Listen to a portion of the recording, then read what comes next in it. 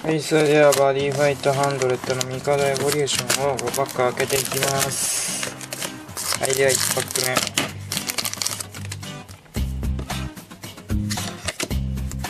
目。あれ？これは、おドラゴジェネラル、ソウルガード持ちで、ゲージ1払い、君のデッキの上から1枚このカードのソウルに入れる。払ったら、ゲージ1払って起動で、払ったら君のデッキの上から1枚このカードのソウルに入れて、この能力が1ターンに1回だけ使える。えー、ソウルガード持ちのアイテムだと武器。なんだって、このカードのソウルの枚数分、このカードの打撃力プラス1。えー、マスごとに強くなるだと。強いです。はい。はい、これいいですね。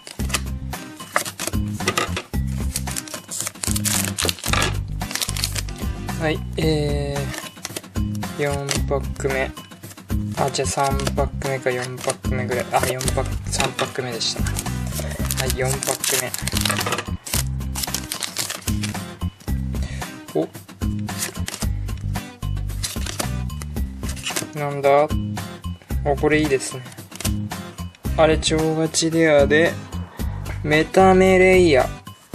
ゲージ3で、君のドロップゾーンの黒竜2枚までをこのカードのソウルに入れる。このカードの攻撃で破壊された時、相手にダメージ1。はい。2回攻撃待ちですね。はい。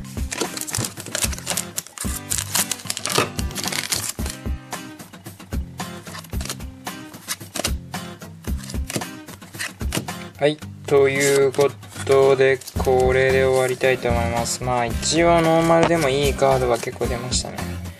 そのコールを無効にする。相手が、ゲージ1で手札1枚捨てると相手がサイズ3のモンスターをコールした時に使える。そのコールを無効にする。お、いいね。はい。これいいですね。打撃3で3000。君ゲージ1払って君にダメージ1。攻撃変えてダメージ受けると君のライフプラス1。爆雷にね、絶大な能力発揮しすぎだろ。対爆雷戦ですね。はい。えー、っと、まあ、こんな感じで。えっと、あとこれが2回攻撃できるっていうスタンドさせてね。はい。ということで、今回なんと超ガチエアと新しいカード。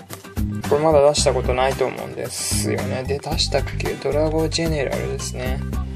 を出すことができました。これ結構レアなカードですね、ガチリアでも。結構能力が強いんで、はい。ということで、まあこれで終わりたいと思います。ご視聴ありがとうございました。でもこれゼロですけど、